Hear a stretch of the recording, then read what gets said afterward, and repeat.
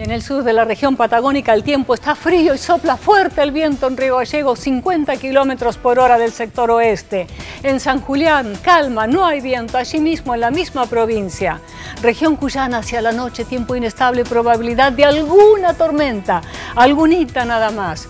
En la zona central, cielo algo parcialmente nublado, pero en la zona de Bahía Blanca, allí cerca de la ciudad, a la tardecita inestabilidad. Noroeste, cuántas nubes, cuánta inestabilidad. De manera muy dispersa la probabilidad de alguna tormenta, pero muy disperso. Noreste, Misiones, Formosa, mucha inestabilidad, mucha nubosidad. Y la información es del Servicio Meteorológico Nacional.